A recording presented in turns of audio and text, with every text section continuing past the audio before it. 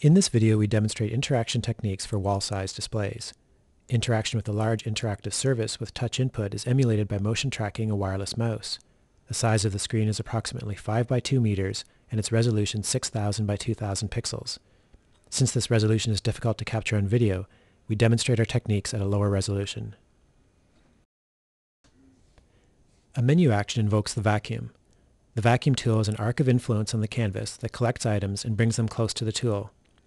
The user can change the angle of the arc by clicking and dragging on the tool's arc representation, and change the orientation of the arc by clicking and dragging on the white handle. The arc of the widget follows the movement of the tool. The vacuum tool can make semantic selections. For example, here we collect only UI elements.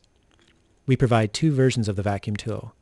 In the first version, items are copied and scaled such that the relative positions of the tool and the selected objects is preserved through their copies. In the second version, items are copied on top of the tool from left to right. In both versions, the position of the copied objects can be temporary or persistent. By simply dismissing the tool, the copied items return to their original positions. Objects selected before dismissing the tool remain at their copy positions as a group, marked with a border. We can expand this group by touching and holding, or move it by touching and dragging. This group treatment is present in all overlapping windows. We also provide a tool tailored to existing layouts of full-screen applications with remote UI elements. Our edge-reaching widget divides the screen into sections. By selecting one section of the tool, UI elements at the corresponding section of the screen are brought close to the widget and scaled down. The user can move the edge-reaching widget or edit the scale factor of the UI elements.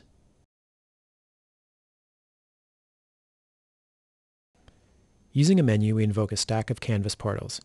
A canvas portal provides an alternative view of portions of the virtual canvas.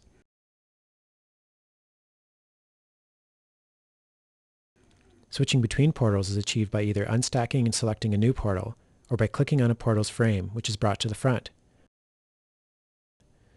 We can modify the canvas portal scale factor,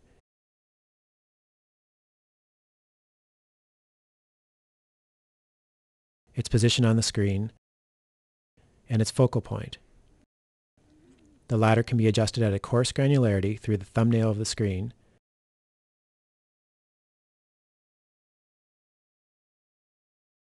or at a fine granularity by direct positioning. Interaction within the portal is functionally equivalent to interaction on the entire canvas.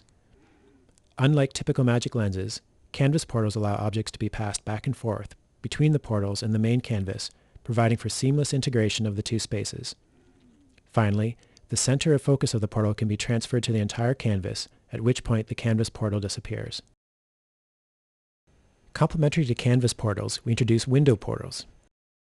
These provide an overview of the entire canvas, a close-up view of a selected window marked in red, and a sequence of the latest user selections. The canvas overview acts as a spatial locator of objects, and the timeline is a temporal locator. Items can be moved between the overview and the main canvas, and the tool can be repositioned. Division bands allow the user to cut the virtual canvas into different portions. The user first specifies a cut position and direction. She can then drag the band around, providing quick access to previously hidden or peripheral content. The band can be transient, which allows for quick glancing actions, or it can be retained, providing an alternative view of the canvas. Multiple bands of different orientations and directions can coexist. The content within each band can have different scale factors. This allows for items to be dragged into zoomed out bands to save space, or into zoomed in bands for high visibility. When interacting at close proximity to a wall-sized display, the lower part of the screen is typically outside the user's focus. This can be used for stacking items temporarily. This 3D stacking view we call the well. It provides context and free space when used together with the regular view of the screen. The user can either explicitly remove an object from the well, restore the original position of the object, or restore all welled objects. We have presented a set of interaction techniques for very large-scale high-resolution displays. We now show these techniques being used together.